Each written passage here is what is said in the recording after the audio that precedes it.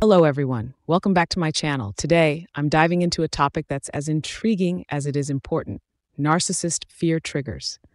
Understanding what triggers a narcissist's fear can be crucial in navigating relationships with them, whether at work, in friendships, or even in family settings. So, grab a seat and let's uncover the top seven things that can make a narcissist feel threatened. First up is loss of control. Narcissists thrive on control. They need to feel they are the ones steering the ship. I remember a time when I was working on a project with a colleague who displayed strong narcissistic traits. Whenever I voiced my ideas, he'd shoot them down. But the moment I took the lead on a task he felt he should control, he completely unraveled. His need to dominate that role was so strong that it triggered all sorts of defensive behavior.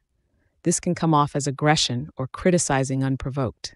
The fear of losing that grip led him to try and manipulate the situation even more. The second fear trigger is criticism or feedback. Narcissists often have a fragile self esteem masked by bravado. If you've ever tried to give constructive feedback to, to someone with narcissistic traits, you might have noticed a withdrawn silence or an outright explosion. I remember during a performance review, I needed to address some areas where a narcissistic coworker could improve. The moment I began to speak, the air thickened. Instead of discussing the points, he completely deflected them, turning the conversation back on me. This fear of being exposed as less than perfect is a huge trigger. Coming in hot at number three is being outshined. Narcissists relish being the center of attention. So when they're upstaged, whether it's by someone else's success, charisma, or talents, watch out.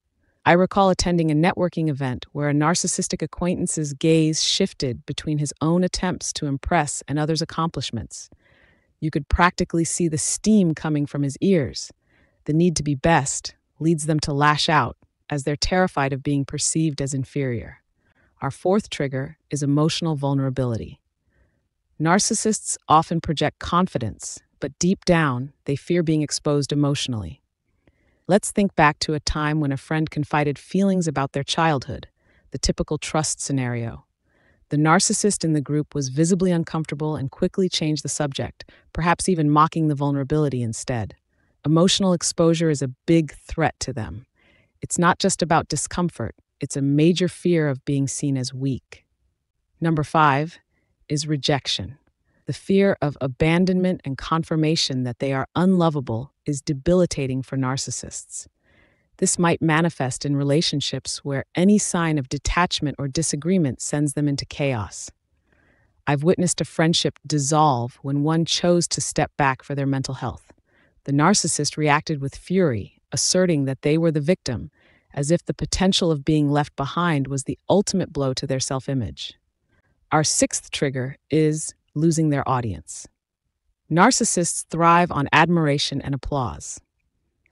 Take social media as an example.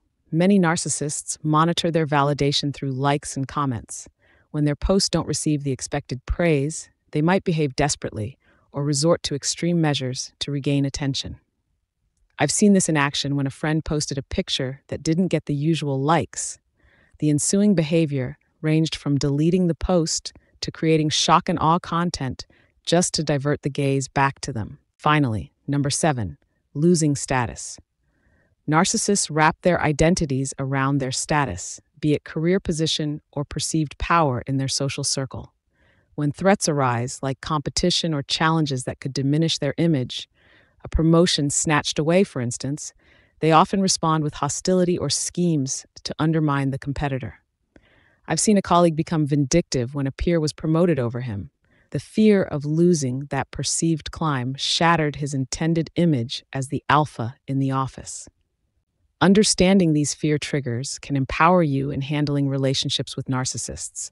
It helps you anticipate their reactions and arm yourself with knowledge. If you found this video insightful, give it a thumbs up, share your experiences in the comments below, and don't forget to subscribe for more content like this. I'll see you in the next video. Stay informed.